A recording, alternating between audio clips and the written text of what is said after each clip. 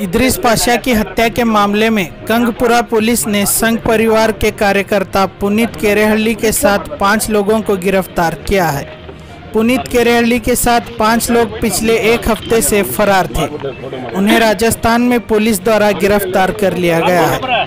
इदरीस पाशा के घर वालों ने इल्ज़ाम लगाया है कि इदरीस पाशा को जुमे की रात संतूर के करीब इस बुनियाद पर कत्ल किया गया कि वो एक गाड़ी में मवेशी को ले जा रहा था।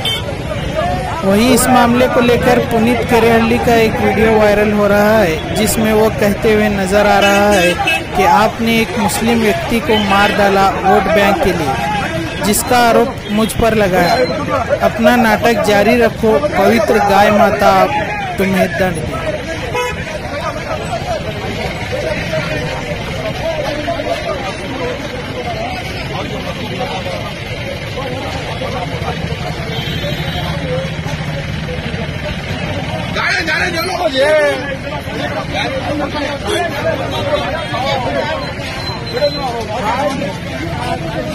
ಒಬ್ಬ ಮುಸಲ್ಮಾನನ ಕೊಂದು ಅಲ್ಲಿಂದ ಅದನ್ನ ನನ್ನ ಮೇಲೆ ಹಾಕುವಂತ ಅಥವಾ ನಮ್ಮ ತಂಡದ ಮೇಲೆ ಹಾಕುವಂತ ಕೆಲಸವನ್ನ ಮಾಡಿ ನೀವು ಮತ ಬ್ಯಾಂಕಿಗೋಸ್ಕರ, ವೋಟ್ ಬ್ಯಾಂಕಿಗೋಸ್ಕರ ಒಬ್ಬ ಮುಸಲ್ಮಾನ ಕೊಂದು ಅಲ್ಲಿಂದ ತಗೊಂಡೋಗಿ ಮಂಡ್ಯದಲ್ಲಿ ರ್ಯಾಲಿ ಮಾಡ್ಕೊಂಡು ನಾಟಕ ಮಾಡ್ತಾ ಇದೀರಿ ಹಾ?